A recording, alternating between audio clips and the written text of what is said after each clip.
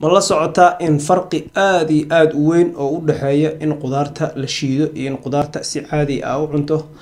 Inteena badan waxaan aaminsannahay qudaarta markii la shiido inay ka caafimaad badan tahay markii la cuno sababtoo ah qudaarta markii la shiido ay biyo noqoto calofka wuu cabaya caloosha ayaa la geynaya si dhaqso ah ayaa qudaarta caloosha looga dhuuqaya jirkaaga hore ayay ka galaysaa ayay dadka aaminsan yihiin.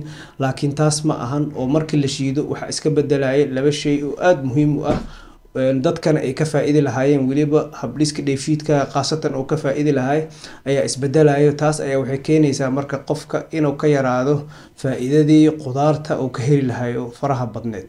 Maadaama qudaarta ay muhiim tahay ayna dabiici tahay markii la shiidana weli ay dabiici tahay laakiin shiiditaankaas la shiiday ayaa isbeddel ku keenaya qudaartii oo sidii ay ahayd ayay iska bedeleysaa taas ayaa keenaysa in hoos dhac oo ku imaado faa-iidooyinkii aa ka heli lahayd qudaarta haddaba waxaan kugula tali lahaa in qudaarta aadan shiidanin laakiin aada si caadiya u cunto si faa-iidooyin faraha badan ee leedahay qudaarta oo ilaahay uu dabiiciga u sameeyey si aada uga hesho insha allahu tacaala. Kow faa-iidada dhumayso waxaa waaye qudaaraha sidaan ognahay waxaa ku jiro fiber.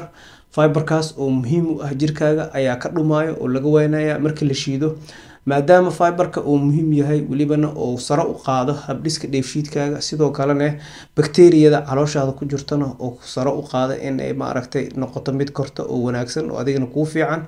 Sidoo kale fiberka wuxuu jilciyaa saxrada oo dadka caloosha adag hadday qudaaraha badsadaan. Waxaa dhacaysa in saxradooda ay jilacdo oo fiberkaas ka qayb qaato qofka si saxro jilcan oo u dhigo labo waxaa dhacayso sokorta ku jirtay ayaa isbedelayso. Markii hore qudaarta waxay ahayd mid sokorteeda ee yar tahay laakiin qudaarta markii la shiiday kadib waxay noqonaysaa mid sokorteeda ee badan tahay. Waxayna keenaysaa inuu saro u kaco sokorta jirkaaga ku jirtay.